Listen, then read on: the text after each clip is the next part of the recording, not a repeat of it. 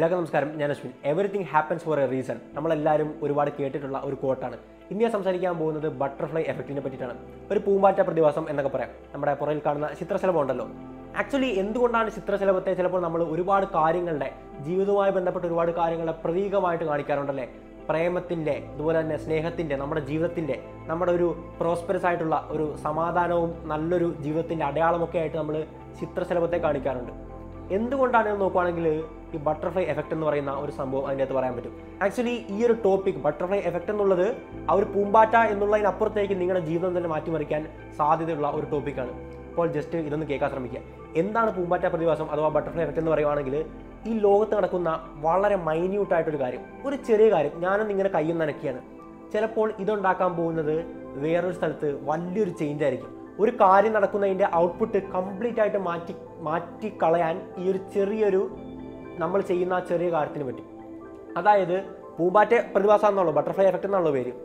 ഒരു ബട്ടർഫ്ലൈയുടെ ചിറകടി അതായത് ബ്രസീലിൽ ചിറകടിക്കുന്ന ഒരു ബട്ടർഫ്ലൈ ചിലപ്പോൾ അമേരിക്കയിലുള്ള ടെക്സാസിൽ ആ ചിറകടി കാരണം വലിയൊരു കൊടുങ്കാറ്റാവും ഉണ്ടാകാൻ പോകുന്നത്. അല്ലെങ്കിൽ ഏതെങ്കിലും അവിടെ കൂടെ പോകുന്ന പ്ലെയിൻ ഒന്ന് ആടി അതാണ് അതിന്റെ കൺസെപ്റ്റ് എന്ന് പറയുന്നത്. ആ കൺസെപ്റ്റാണ് എടുക്കേണ്ടത്. അല്ലാതെ ഇങ്ങനെ നടക്കുമെന്നല്ല പറയുന്നത്. ഇത് എങ്ങനെയാണ് നമ്മുടെ ജീവിതത്തിൽ ഇംപ്ലിമെന്റ് ആകുന്നത് ഈ വീഡിയോ എടുക്കാൻ മറ്റൊരു കാരണം കൂടെയുണ്ട്. നമുക്കെല്ലാവർക്കും അറിയാം നാളെ നമ്മുടെ തല എം എസ് ധോണിയുടെ ജന്മദിനമാണല്ലേ? അപ്പോൾ അദ്ദേഹത്തിന് എല്ലാ എല്ലാവിധ ആശംസകളും നേരുകയാണ്. അദ്ദേഹത്തിന്റെ ജീവിതം ആക്ച്വലി ഒരു ബട്ടർഫ്ലൈ എഫക്റ്റ് ആണെന്ന് പറയാൻ പറ്റും. അത് കേൾക്കുമ്പോൾ തന്നെ നിങ്ങൾക്ക് എന്താ സംഭവം എന്ന് മനസ്സിലാവും. അതിന് ഒരു കാര്യം ഈ താഴെ കാണുന്നതാണ് എന്റെ ഇൻസ്റ്റാഗ്രാം ഐ ഡി ഡിസ്ക്രിപ്ഷൻ ബോക്സിലും കമന്റ് ബോക്സിലും പേജ് ചെയ്ത് വെച്ചേക്കാം. കഴിയുന്നവരൊന്ന് ഫോളോ ചെയ്യാൻ ശ്രമിക്കുക. ധോണിയുടെ കാര്യത്തിലേക്ക് വരുന്ന മുമ്പ് മഹേഷിന്റെ പ്രതികാരം എന്ന് പറയുന്ന സിനിമ എല്ലാവരും കണ്ടിരിക്കുമല്ലോ. ആക്ച്വലി ആ സിനിമ എന്ന് പറയുന്നത് കംപ്ലീറ്റ് ഒരു ബട്ടർഫ്ലൈ എഫക്റ്റിനെ ബേസ് ചെയ്തുള്ളതാണ്. ഒരു ചെയിൻ ഓഫ് ആക്ഷനാണ് അതിന്റെ അകത്ത് പോയിക്കൊണ്ടിരിക്കുന്നത്. നിങ്ങൾ ശ്രദ്ധിച്ചിട്ടുണ്ടോ എന്ന് എനിക്കറിയത്തില്ല. ആ സിനിമയുടെ ക്ലൈമാക്സ് എന്ന് പറയുന്നത് ക്ലൈമാക്സിലെ മെയിൻ ഇവന്റ് എന്ന് പറയുന്നത് മഹേഷും ജിൻസണുമായിട്ടുള്ള അടിയാണല്ലേ? അതാണ് അതിന്റെ ക്ലൈമാക്സ് ആ ഒരു അടി നടക്കാൻ കാരണം എന്ന് പറയുന്നത് സൗമ്യയുടെ ചാച്ചൻ ചക്കയിടാൻ കയറുന്നതുകൊണ്ടാണ്. സൗമ്യയുടെ ചാച്ചൻ അപ്പോൾ ചക്കയിടാൻ കയറിയില്ലായിരുന്നെങ്കിൽ ആ ഒരു അടി അവിടെ നടക്കത്തില്ലായിരുന്നു. അതിനെപ്പറ്റി ഏറ്റവും അവസാനം പറയാം. എം എസ് ധോണിയുടെ ജീവിതത്തിൽ സംഭവിച്ച കാര്യം എന്താണ്? നമുക്കറിയാം മഹേന്ദ്ര സിംഗ് ധോണിയെ പറ്റി അധികം പേരോടും പറയേണ്ട കാര്യമില്ല. കാരണം നമ്മുടെ മുൻ ഇന്ത്യൻ ക്യാപ്റ്റൻ ആയിരുന്നു ക്രിക്കറ്റ് ക്യാപ്റ്റൻ ആയിരുന്നു അല്ലേ? ഒരു വേറെ ലെവൽ മനുഷ്യനാണ് അദ്ദേഹം. അദ്ദേഹം നമുക്ക് രണ്ട് വേൾഡ് കപ്പുകൾ കൊണ്ടുവന്നു. അങ്ങനെ ഒരുപാട് ട്രോഫീസ് ഒരുപാട് നേട്ടങ്ങൾ നമ്മുടെ രാജ്യത്തിന് ക്രിക്കറ്റ് മേഖലയിൽ ഒരുപാട് നേട്ടങ്ങൾ നേടുത്തുന്ന മനുഷ്യനാണ്. ഒരുപാട് പേരെ ഇൻസ്പയർ ചെയ്തിട്ടുണ്ട്. ഒരുപാട് പേരുടെ ജീവിതത്തിൽ ഒരുപാട് മാറ്റങ്ങൾ വന്നിട്ടുണ്ട്. ചെന്നൈ സൂപ്പർ കിങ്സിനെ നയിച്ചിട്ടുണ്ട്. അതിൽ ഒരുപാട് പേർക്ക് അവസരങ്ങൾ കിട്ടിയിട്ടുണ്ട്. അവരൊക്കെ വേറെ നിലയിലേക്ക് എത്തിയിട്ടുണ്ട്. അപ്പോൾ ധോണി എന്നുള്ളത് ജസ്റ്റ് ഒരു കോമൺ മാൻ അല്ല ഒരു ഇതിഹാസം എന്ന തരത്തിൽ നമുക്ക് ഉറപ്പായിട്ടും പറയാൻ പറ്റുന്ന ഒരു വ്യക്തിത്വമാണ് മഹേന്ദ്ര സിംഗ് ധോണി അല്ലെ? തല ധോണി എന്നാണ് ഒരുപാട് പേര് വിളിക്കുന്നത്. അദ്ദേഹം അദ്ദേഹത്തിന്റെ ജീവിതത്തിൽ സംഭവിച്ച കാര്യം എന്താണ്? ബട്ടർഫ്ലൈ എഫക്റ്റുമായിട്ട് ബന്ധപ്പെട്ട കാര്യം എന്താണെന്ന് നോക്കുകയാണെങ്കിൽ അദ്ദേഹം ചെറുപ്പകാലത്ത് സ്കൂളുകളിലൊക്കെ പഠിക്കുന്ന കാലത്ത് ഫുട്ബോൾ പ്ലെയർ ആയിരുന്നു. അത് നിങ്ങൾക്ക് എത്ര പേർക്ക് അറിയാമെന്ന് അറിയത്തില്ല. അദ്ദേഹം ഫുട്ബോളിൽ ഗോൾ കീപ്പർ ആയിരുന്നു. നമ്മൾ ഗോളി എന്ന് പറയുമല്ലോ. അപ്പോൾ ആ ഒരു രീതിയിലാണ് അദ്ദേഹം കളിച്ചു പോന്നിരുന്നത്. ക്രിക്കറ്റ് ഒന്നും അധികം കളിക്കത്തില്ലായിരുന്നു. അങ്ങനെ ഒരു ദിവസം ധോണി പഠിച്ചുകൊണ്ടിരുന്ന സ്കൂളിൽ അവിടുത്തെ ക്രിക്കറ്റ് ഫൈനലോ മറ്റോ എന്തോ ആണ്. ആ ഫൈനലിൽ അവിടെ വിക്കറ്റ് കീപ്പർ ആയിട്ടുള്ള പയ്യൻ വരുന്നില്ല എന്നുള്ള കാര്യം അവിടുത്തെ പി ടി മാഷ് നമ്മുടെ പി ടി സാർ ഉണ്ടല്ലോ അറിയുകയാണ്. അതെന്തുകൊണ്ടാന്ന് പറഞ്ഞാൽ നല്ലവണ്ണം വിക്കറ്റ് കീപ്പിങ്ങും നല്ല കളിച്ചുകൊണ്ടിരുന്ന പയ്യനാണ്. അപ്പോൾ ഒരുപാട് കളിയിലേക്ക് ആയപ്പോഴേക്കും ക്രിക്കറ്റ് കളിക്കുന്ന പയ്യന്റെ കാര്യം കേട്ടോ പറഞ്ഞത് വിക്കറ്റ് കീപ്പർ ആയിട്ടുള്ള സ്കൂൾ ടീമിലെ ആ പയ്യൻ നല്ല കളിയിലേക്ക് ഒരുപാട് ശ്രദ്ധ കേന്ദ്രീകരിക്കാൻ തുടങ്ങിയപ്പോഴേക്കും ഈ പയ്യന്റെ അച്ഛൻ പറയുകയാണ് ആ പയ്യനെ ഇനി അധികം കളിപ്പിക്കാൻ പറ്റത്തില്ല. ഇവന്റെ ജീവിതം പോകും. കളിച്ചു കിടന്നാൽ പഠിത്തത്തിലുള്ള ഇൻട്രസ്റ്റ് ഒക്കെ പോകുന്നു. അത് കാരണം ഇവനെ ക്രിക്കറ്റിൽ നിന്ന് മാറ്റണമെന്നും പറഞ്ഞ് ആ പയ്യന്റെ അമ്മയുടെ അടുക്കെ പുള്ളിയുടെ ഭാര്യയുടെ പറഞ്ഞ് അങ്ങനെ ഈ പയ്യന്റെ അമ്മ പി ടി സാറിനെ കണ്ട് പറയുകയാണ് എന്റെ മോൻ ഇനി തൊട്ട് ക്രിക്കറ്റിൽ പങ്കെടുക്കത്തില്ല. ക്രിക്കറ്റിൽ കളിക്കാനുണ്ടാകത്തില്ല അവൻ അവന്റെ ഭാവി നോക്കണം. കളിച്ചു കിടന്നാൽ ജീവിതം സെറ്റ് ആകത്തില്ല എന്നൊക്കെ പറഞ്ഞ് ആ പയ്യനെ ക്രിക്കറ്റ് ടീമിൽ നിന്ന് അമ്മ തന്നെ പുറത്തിറക്കിയാണ്. അങ്ങനെ അപ്പോൾ പി ടി സാർ ഇങ്ങനെ തലയൊക്കെ വെച്ച് നിൽക്കുകയാണ്. ഇപ്പോൾ ഫൈനൽ എടുക്കാൻ പോകണം ഇപ്പോൾ എന്ത് ചെയ്യും? നമുക്ക് വിക്കറ്റ് കീപ്പർ ഒന്നുമില്ല അങ്ങനെ അന്താഴ്ച ചെന്ന് ആ റൂമിൽ നിന്ന് പുറത്തേക്ക് ഇറങ്ങുമ്പോഴാണ് ഈ പറയുന്ന ഗോൾ കീപ്പറായിട്ട് നിൽക്കുന്ന ധോണിയെ കാണുന്നത്. അപ്പോൾ അദ്ദേഹം ചിന്തിച്ചു ബോൾ പിടിക്കുന്ന പരിപാടി തന്നെയാണ് ചെയ്യുന്നത് അല്ലേ? അങ്ങനെയാണെങ്കിൽ എന്തുകൊണ്ട് ധോണിയെ വിക്കറ്റ് കീപ്പിങ്ങിലേക്ക് ഇട്ടുകൂടാ എന്ന് വിചാരിച്ച് അങ്ങനെയാണ് ഈ പറയുന്ന ധോണിയെ ക്രിക്കറ്റിലേക്ക് വരുന്നത്. ആക്ച്വലി മനസ്സിലായോ? ഫുട്ബോൾ കളിച്ചുകൊണ്ടിരുന്ന ധോണിയെ ക്രിക്കറ്റിലേക്ക് വരാൻ കാരണം എന്ന് പറയുന്ന ഈ സംഭവമാണ്. ഇനി നമുക്ക് ഒന്ന് ചിന്തിച്ചു നോക്കാം. ഒരു പക്ഷേ ആ പയ്യന്റെ അച്ഛൻ ഒന്ന് ആലോചിച്ച് നോക്കുക. ഏതോ ഒരു പയ്യന്റെ ആ ഒരു അച്ഛൻ വിചാരിച്ച കാരണം മാത്രമാണ് ധോണി എന്ന് പറയുന്ന ഒരു ഇതിഹാസം അവിടെ ഡെവലപ്പായി വന്നത്. ഒരു പക്ഷേ ആ അച്ഛൻ ആ മകൻ അവിടെ കളിച്ചോട്ടെ വിക്കറ്റ് കീപ്പറായിട്ട് അവിടെ കളിച്ചോട്ടെ ക്രിക്കറ്റ് ടീമിൽ കളിച്ചോട്ടെ ഒരു വിഷയമില്ല എന്ന് വിചാരിച്ചിരുന്നെങ്കിൽ ധോണി ഫുട്ബോൾ തന്നെ കളിച്ചു പോകുന്നിരുന്നേനെ ഇവിടെ ഈ പറയുന്ന നമുക്കറിയാവുന്ന ധോണി എന്ന് പറയുന്ന ഒരാൾ അവിടെ ക്രിക്കറ്റ് ഇന്ത്യൻ ക്രിക്കറ്റ് ടീമിൽ വരത്തില്ലായിരുന്നു. മറിച്ച് വേറൊരു കാര്യം കൂടി ചിന്തിച്ചു നോക്കാം. ഒരു പക്ഷേ അന്ന് ദിവസം ധോണി സ്കൂളിൽ പോയിട്ടില്ലായിരുന്നെങ്കിലോ? ഫുട്ബോൾ കളിക്കുന്നു ഓക്കെ അന്ന് അവിടെ ഫുട്ബോൾ കളിക്കുന്നില്ല. അല്ലെങ്കിൽ ഈ പറയുന്ന എന്തെങ്കിലും പനി പിടിച്ച് ആ സ്കൂളിൽ പോയിട്ടില്ലായിരുന്നു. അങ്ങനെ വന്നു കഴിഞ്ഞാൽ ഈ പി ടി മാഷ് ഇദ്ദേഹത്തെ കാണത്തില്ലായിരുന്നു. വേറെ കാര്യം നോക്കാം. ഈ പി ടി മാഷ് ആ റൂമിന്റെ പുറത്തിറങ്ങുമ്പോഴാണ് കണ്ടത്. ഈ റൂം എന്ന് പറയുന്നത് വേറെ ബിൽഡിങ്ങിന്റെ അപ്പുറത്ത് വല്ലതുമായിരുന്നെങ്കിലോ ഈ പറയുന്ന ധോണിയെ കാണാൻ പോകുന്നില്ല ഒന്നുമില്ല. വേറെ കൂടെ നോക്കുക. അവിടെ കൂടെ പി ടി മാഷ് പുറത്തേക്ക് ഇറങ്ങുമ്പോഴേക്കും വേറൊരു സാറ് വന്ന് സംസാരിച്ച് അവർ രണ്ടുപേരും കൂടെ ചായ കുടിക്കാൻ ക്യാന്റീനിലേക്ക് പോവാണ്. ധോണിയെ കാണുന്നില്ല. അങ്ങനെ ഒരു ചെറിയ ഒരു ചെറിയ മൈന്യൂട്ട് ചേഞ്ചാണ് ധോണിയുടെ ജീവിതം മാറ്റിമറിച്ചത് എന്ന് നിങ്ങൾക്കിപ്പോൾ മനസ്സിലായില്ലേ? ആ ഒരു പയ്യന്റെ അച്ഛൻ തീരുമാനിക്കുവാണ്. എന്റെ മകൻ ക്രിക്കറ്റ് കളിച്ചു കഴിഞ്ഞാൽ അവന്റെ നല്ലതിനോ മോശത്തിനോ വേണ്ടി കളിച്ചു കഴിഞ്ഞാൽ ശരിയാകത്തില്ല എന്ന് വിചാരിക്കുകയാണ്. ആ ഒരു തീരുമാനവും ഈ പറയുന്ന എല്ലാ ചെയിൻ ഓഫ് ഈവൻസും അവിടെ പ്രോബബിലിറ്റി പോസിബിൾ ആയതുകൊണ്ട് മാത്രമാണ് ധോണി അവിടെ ഒരു ഇതിഹാസമായിട്ട് ക്രിക്കറ്റ് ടീമിലേക്ക് വന്നത്. അതാണ് എം എസ് ധോണിയുടെ ജീവിതത്തിൽ സംഭവിച്ച കാര്യം. ഇപ്പോഴെന്താണ് ബട്ടർഫ്ലൈ എഫക്റ്റ് എന്നുള്ള ഒരു അടിസ്ഥാന ചിന്ത നിങ്ങളുടെ മനസ്സിൽ കയറിയിരിക്കുമല്ലോ പക്ഷേ ഇതൊന്നുമല്ല. ഇതിന്റെ അപ്പുറത്തേക്ക് നമ്മളൊക്കെ ഇവിടെ ഇരിക്കുന്നതിന്റെ കാരണം പോലും പണ്ടെങ്ങോ നൂറ്റാണ്ടുകൾക്ക് മുമ്പ് നടന്ന കാര്യങ്ങളുടെ റിയാക്ഷനായിട്ട് സംഭവിച്ച കാര്യം കൊണ്ടാണ്. ആക്ച്വലി ഞാൻ പറയുവാണ് നമ്മളിവിടെ ഇരിക്കുന്നത് രണ്ടാം ലോക മഹായുദ്ധം സംഭവിച്ചുകൊണ്ടാന്ന് പറഞ്ഞാൽ നിങ്ങൾ വിശ്വസിക്കുമോ തീർച്ചയായിട്ടും ഒന്നാം ലോക മഹായുദ്ധം രണ്ടാം ലോക മഹായുദ്ധം സംഭവിച്ചുകൊണ്ടായിരിക്കും നമ്മൾ ഇവിടെ ഇരിക്കുന്നത്. ഇല്ലെങ്കിൽ ചിലപ്പോൾ നമ്മൾ ജനിക്കുന്ന പോലും ഇല്ലായിരിക്കും.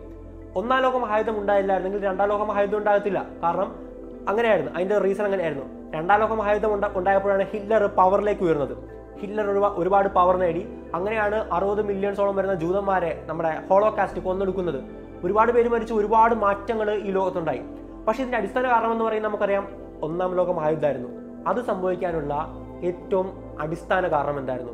മറ്റൊന്നുമല്ല ഒരു ഡ്രൈവർ ഒരു ഡ്രൈവർ കാറ് റൈറ്റിലേക്ക് എടുക്കേണ്ടതിന് പകരം ലെഫ്റ്റിലേക്ക് എടുത്ത് അല്ലെങ്കിൽ ജസ്റ്റ് വഴിതെറ്റി പോവുകയാണ് സംഭവിച്ചത്. ആ വഴുതിട്ടില്ലായിരുന്നെങ്കിൽ ഈ പറയുന്ന ഒന്നാം ലോക മഹായുദ്ധം ഇതുപോലെ ഉണ്ടാകത്തില്ലായിരുന്നു. പിന്നെ ഈ പറയുന്ന രണ്ടാം ലോക മഹായുദ്ധം ഉണ്ടാകത്തില്ലായിരുന്നു. ഈ ലോകം കംപ്ലീറ്റ് ആയിട്ട് മാറി മറിഞ്ഞേനെ ഇപ്പോൾ ഞാൻ പറയുകയുണ്ടായി വേൾഡ് വാർ വണ്ണിന്റെ പ്രധാനപ്പെട്ട ഒരു കാരണം ഒരു ഒരു ഡ്രൈവർ ഒരു കാറ് ഇടത്തേക്ക് തിരിക്കുന്നതിന് പകരം വലത്തേക്ക് തിരിച്ചു. വഴിതെറ്റിപ്പോയി. അതാണ് സംഭവം. അത് ആരുടെ കാറാണ് എങ്ങനെയാണ് തെറ്റിയത്? എങ്ങനെയാണത്? വേൾഡ് വാർ വണ്ണിലേക്ക് ഒരുപാട് മില്യൺസ് ഓഫ് ആൾക്കാർ മരിച്ച ഒന്നാം ലോക മഹായുദ്ധത്തിലേക്കും പിന്നീട് രണ്ടാം ലോക മഹായുദ്ധത്തിലേക്ക് കൊണ്ടെത്തിച്ചെന്ന് നിങ്ങൾക്ക് അറിയണ്ടേ അതെന്ന് പറയുന്നത് വേൾഡ് വാർ വണ്ണിന്റെ പ്രധാനപ്പെട്ട ഒരു റീസൺ ആയിരുന്നു. സർജീവോ ക്രൈസിസ് ഭൂരിഭാഗം പേരും കേട്ടിരിക്കാൻ സാധ്യതയുള്ളതാണ് ആയിരത്തി തൊള്ളായിരത്തി പതിനാലിൽ ഓസ്ട്രേലിയ വളരെ ശക്തനായിട്ടുള്ള നേതാവായിരുന്ന ആസ്ഡ്യൂക്ക് ഫ്രാൻസിസ് ഫെർഡിനൻഡിനെ സെർബിയയിൽ നിന്ന് വന്നിട്ടുള്ള പത്തൊമ്പത് വയസ്സുകാരൻ വെടിവെച്ച് കൊല്ലുകയാണ്. ആ ഒരു സംഭവമാണ് വേൾഡ് വാർ വണ്ണിനെ ട്രിഗർ ചെയ്തത്. അപ്പോൾ ഇതും കാർതിരിയായിട്ട് എന്താ ബന്ധമെന്നല്ലേ? അന്നേ ദിവസം രാവിലെ ഈ ഇദ്ദേഹത്തിന്റെ കാറിന് നേരെ അതായത് ഈ പറഞ്ഞ നേതാവിന്റെ കാറിന് നേരെ ഒരു ബോംബേർ ഉണ്ടായിരുന്നു. പക്ഷേ ആ ബോംബേർ കറക്റ്റ് കാറിക്കൊണ്ടില്ല. മറിച്ച് കാറിന്റെ പുറകിൽ സഞ്ചരിച്ച ആൾ ആൾക്കാരുടെ ഇടയിലേക്കാണ് വീണത്. അങ്ങനെ ആൾക്കാർക്ക് പരിക്കേറ്റു. അങ്ങനെ ഈ ഒരു പരിക്കേറ്റ ആൾക്കാരെ കാണണമെന്ന് ഈ പറയുന്ന നേതാവ് പറഞ്ഞു. ആസ്ഡ്യൂക്ക് ഫ്രാൻസ് പറഞ്ഞു "ആ, പരിക്കേറ്റ ആൾക്കാരെ ഒന്ന് ആശുപത്രിയിൽ പോയി കാണണമെന്ന് പറഞ്ഞ് ആ പോകുന്ന വഴിക്കാണ് ഇദ്ദേഹത്തിന്റെ ഡ്രൈവർ. കൃത്യമായിട്ട് ആശുപത്രി അറിയത്തില്ലായിരുന്നു. ഡ്രൈവർ വഴിതെറ്റി വേറെ എങ്ങോട്ടൊക്കെ പോവുകയാണ്. അങ്ങനെ പോയ ശേഷം വഴിതെറ്റി ഈ പറയുന്ന ആസ്റ്റിക് ഫ്രാൻസ് അവിടെ ഇറങ്ങി നിന്നു. വേറെ വഴിയൊന്നും അറിയത്തില്ല. ആരെങ്കിലും ചോദിക്കണമെന്ന് പറഞ്ഞ് അവിടെ നിൽക്കുന്ന സമയത്താണ് ആ ഒരു സ്പോട്ടിൽ വെച്ചാണ് ഈ പറയുന്ന സെർബിയയിൽ നിന്ന് വന്നിട്ടുള്ള പത്തൊമ്പത് ദിവസക്കാരൻ ഗ്യാർവനോ പ്രിൻസിപ്പെ അങ്ങനെ എന്തോ ആയിരുന്നു പേര്. ആ പത്തൊമ്പത് ദിവസക്കാരന്റെ കൈ തോക്കൊണ്ടായിരുന്നു ഇങ്ങനെ കണ്ട വാട വെടിവെച്ച് കൊല്ലുകയാണ്.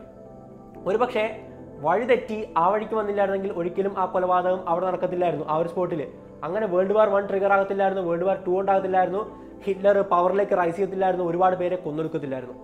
നമുക്കറിയാം ഈ പറയുന്ന ലോകമഹായുദ്ധങ്ങളിൽ ഒന്നാകട്ടെ രണ്ടാകട്ടെ നമ്മുടെ ഇന്ത്യ ഇൻവോൾവ് ആണ്. നമ്മുടെ ഇന്ത്യ അന്ന് ബ്രിട്ടീഷുകാർ ഭരിച്ചുകൊണ്ടിരിക്കുകയായിരുന്നു അല്ലേ? ബ്രിട്ടീഷ് ഇന്ത്യ ആയിരുന്നു. ഒരുപാട് ഒരുപാട് പട്ടാളക്കാർ നമ്മുടെ ഇന്ത്യയിൽ നിന്ന് ബ്രിട്ടീഷുകാർക്ക് വേണ്ടി പൊരുതി മരിച്ചിട്ടുണ്ട്. ഒരുപാട് പേര് മരിച്ചിട്ടുണ്ട്. അങ്ങനെ രണ്ടാം ലോക മഹായുദ്ധത്തോടെ ബ്രിട്ടനൊക്കെ ഭയങ്കര പൈസ പ്രശ്നമൊക്കെ വന്നു.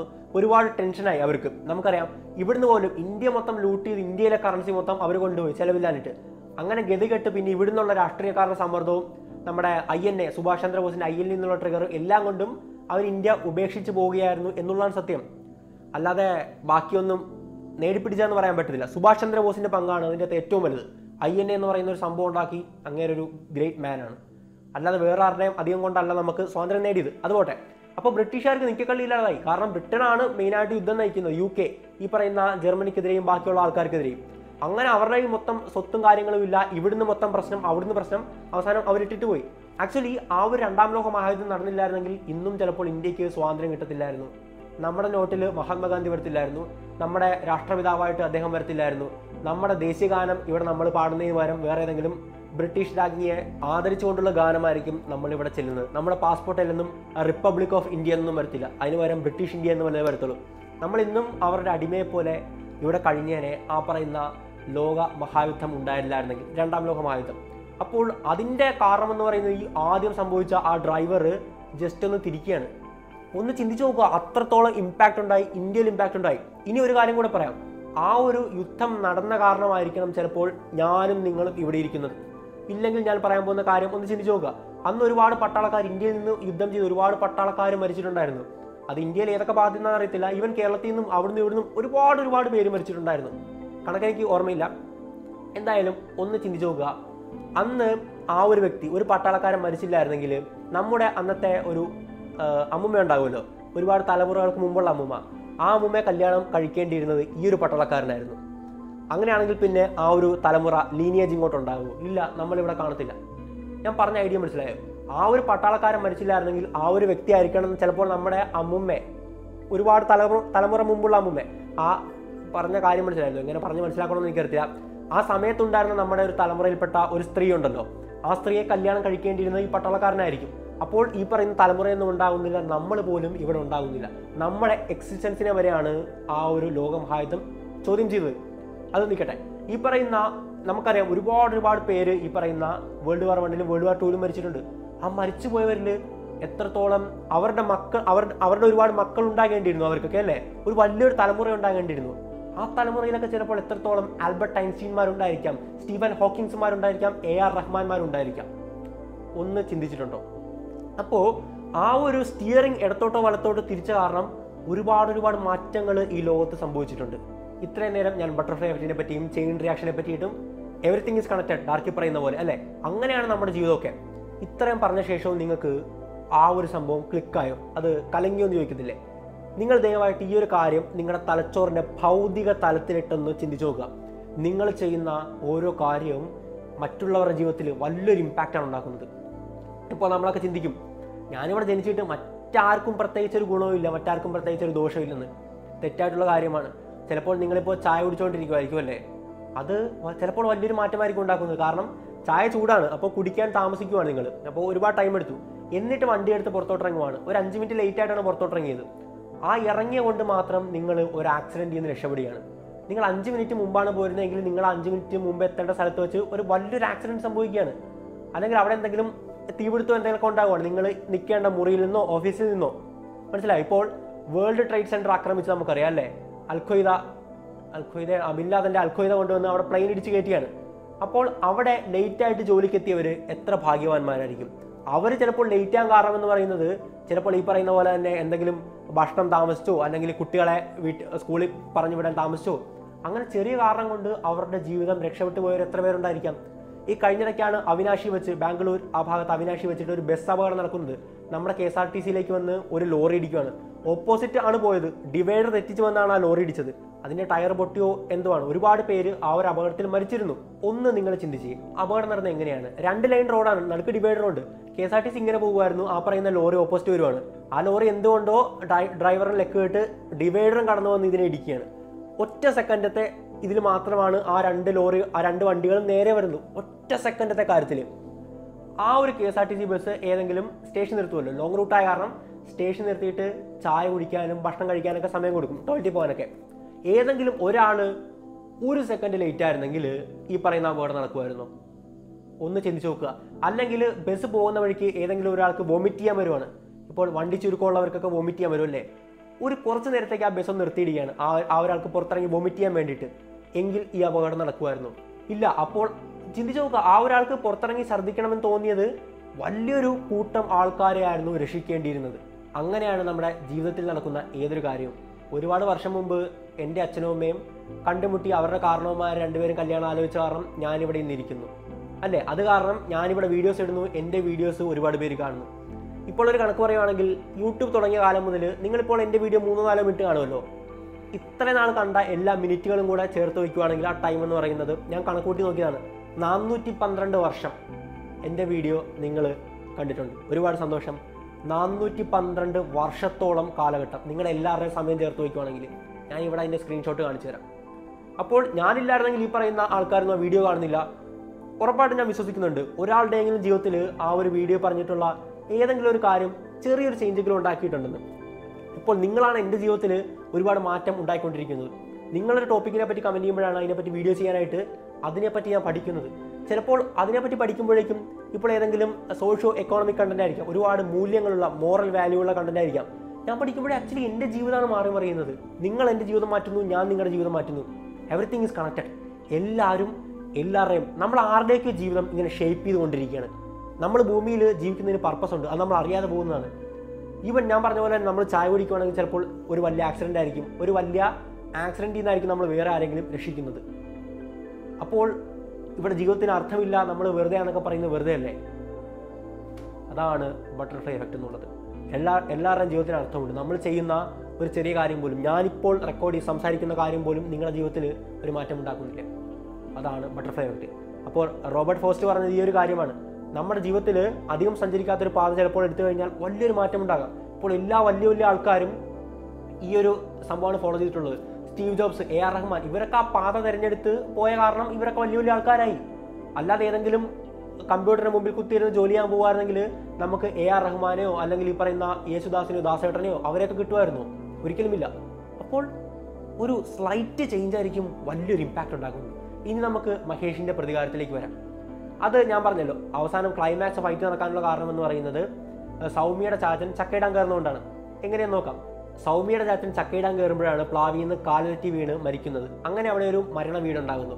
ആ മരണ വീട്ടിൽ വരുന്ന മരണത്തിന് പങ്കെടുക്കാൻ വരുന്ന ആൾക്കാർക്ക് ഭക്ഷണം കൊടുക്കണമല്ലോ. അങ്ങനെ അതിന് പഴം കൊടുക്കാൻ വേണ്ടി വാഴപ്പഴം കൊടുക്കാൻ വേണ്ടിയിട്ട് നമ്മുടെ സാബു ദിലീഷ് പോത്തന്റെ പറമ്പിൽ നിന്ന് വാഴക്കൊല വെട്ടിയാണ്. അതിനെ ചൊല്ലിയിട്ടാണ് സാബുവും ടോമിയും കൂടെ തർക്കം വരുന്നത്. ആ സാബുവും ടോമിയുടെ തർക്കത്തിന് ഇടപെട്ടാണ് മെമ്പർ താഹിറിന് അടികൊള്ളുന്നത് അവസാനം അടികൊള്ളുമല്ലോ അടികൊണ്ട ദേഷ്യത്തിനാണ് അദ്ദേഹം സൈക്കിൾ എടുത്ത് ഒറ്റ പോക്കാണ് പോകുന്നത്. ആ സൈക്കിൾ ചെന്നിടിക്കുന്നത് മറ്റേ ഒരു പയ്യൻ അദ്ദേഹത്തിന്റെ പേരെനിക്കറിയത്തില്ല. അദ്ദേഹത്തിന്റെ സൈക്കിളിൽ പോയി ഇടിക്കുകയാണ്. അദ്ദേഹം കൺട്രോൾ തെറ്റിയിട്ട് ഈ പറയുന്ന നമ്മുടെ നാരങ്ങ കച്ചവടക്കാരനെ ഇടിക്കുകയാണ്. അങ്ങനെ അദ്ദേഹത്തിന്റെ നാരങ്ങയൊക്കെ പോയി നമുക്ക് ആ ജനഗണമന സീനൊക്കെ ഓർമ്മയുണ്ടാവും അല്ലേ? അവസാനം സ്കൂൾ പിള്ളേർ നാരങ്ങ എടുത്തുകൊണ്ട് പോയി. ആകപ്പാടെ അദ്ദേഹത്തിന് മൊത്തം ദേഷ്യമായി. ആ ദേഷ്യത്തോടെ അദ്ദേഹം തന്റെ വീട്ടിലേക്ക് ചെന്ന് ഭാര്യയ്ക്കെതിരെ മൊത്തം ദേഷ്യം തീർക്കുകയാണ്. നമ്മുടെ വെട്ടുകത്തേക്ക് എടുത്ത് വരുന്ന ഒരു സീനുണ്ടല്ലോ അവിടെ സീനൊക്കെ വെച്ചോണ്ടിരിക്കുമ്പോഴേക്കും. ആ ഭാര്യ എന്ന് പറയുന്നത് നമ്മുടെ ബേബി ചായന്റെ പെങ്ങളാണ്. അപ്പോൾ അയലോക്കക്കാർ വിളിച്ചു പറയും ഇവിടെ ഭാര്യയെ ഈ അളിയൻ ആക്രമിക്കുന്നു എന്ന് പറഞ്ഞ് അങ്ങോട്ട് വിളിക്കാൻ വേണ്ടി നോക്കുമ്പോഴാണ് ഫോണിൽ ബാലൻസ് ഇല്ല. അങ്ങനെ അത്യാവശ്യത്തിന് റീചാർജ് ചെയ്യാൻ വേണ്ടിയിട്ടാണ് മറ്റേ കടയിൽ ചെന്ന് റീചാർജ് ചെയ്യാന്ന് പറഞ്ഞ് അവിടെ ഇതുണ്ടാകുന്നത് റീചാർജ് ചെയ്യാന്ന് പറഞ്ഞ്. അവിടെയാണ് ജിൻസണുമായിട്ടുള്ള സീൻ ഉണ്ടാകുന്നത്. ഞാനല്ലേ ആദ്യം തന്നെന്നൊക്കെ പറഞ്ഞ എന്തോ സീൻ ഉണ്ടാകത്തില്ലേ? അങ്ങനെ ജിൻസണുമായിട്ട് അവിടെ കയ്യാങ്കളിയാകുന്നു. അവിടെ മഹേഷ് ഇടപെടുന്നു. അങ്ങനെ മഹേഷും ജിൻസണുമായിട്ട് ശത്രുതയാകുന്നു. അവസാനം അടിയിലേക്ക് കലാശിക്കുന്നു. സംഭവം മനസ്സിലായോ? അപ്പോൾ ഒന്ന് ആലോചിച്ച് നോക്കുക. ചക്കയിടാൻ കയറുന്നതുകൊണ്ടാണ് ഈ പറയുന്ന വലിയൊരു അടി നടന്നത്. ഈ പറയുന്ന നമ്മുടെ ജിൻസിയും മഹേഷുമായിട്ട് പ്രണയത്തിലാകുന്നത് ഒരുപാട് കാര്യങ്ങൾ സംഭവിച്ചു അതിന്റെ ഇടയ്ക്കല്ലേ അതെല്ലാം സംഭവിച്ചത് ഈ ചക്കയിടാൻ കയറലുകൊണ്ടാണ് ഓരോ പൂമ്പാറ്റ ഉണ്ടാക്കിയ ഓളങ്ങൾ നമുക്ക് ചുറ്റും ഇങ്ങനെ പറന്നു കിടക്കുകയാണ്. അത് പിടിച്ചെടുത്ത് മനസ്സിലാക്കിയിട്ട് ആ ഒരു ഓളത്തിന്റെ വഴിക്ക് പോവുകയാണെങ്കിൽ നമ്മുടെ ജീവിതം കംപ്ലീറ്റ് ആയിട്ട് മാറി മറയും ഇതാണ് ബട്ടർഫ്ലൈ എഫക്റ്റ് നിങ്ങളുടെ ജീവിതവും നിങ്ങൾ മാറ്റിമറിക്കുക. ചുമ്മാ ആരെങ്കിലും പറയുന്ന കേട്ട് ഏതെങ്കിലും മൂലയിൽ ഒതുങ്ങിക്കൂടാതെ നിങ്ങളുടെ പാഷൻ ഫോളോ ചെയ്യുക. നിങ്ങളുടെ ക്രിയേറ്റിവിറ്റി ലോകത്തെ അറിയിക്കുക. നിങ്ങൾ വലിയൊരാളായിട്ട് മാറും. ഈ ലോകം അറിയപ്പെടുന്ന ഒരാളായിട്ട് മാറും. അല്ലാതെ ചെറിയ എന്തെങ്കിലും തട്ടിക്കൂട്ട് പരിപാടിക്ക് പോയി കഴിഞ്ഞാൽ ഒന്നുമില്ല ജീവിതം. Follow your passion follow your heart അത്രേ എനിക്ക് പറയാനുള്ളൂ. മറ്റൊരു വീഡിയോയിൽ മറ്റൊരു നല്ല വിഷയമായിട്ട് നമുക്ക് വീണ്ടും കാണാം. It's me Ashwin Madappally signing out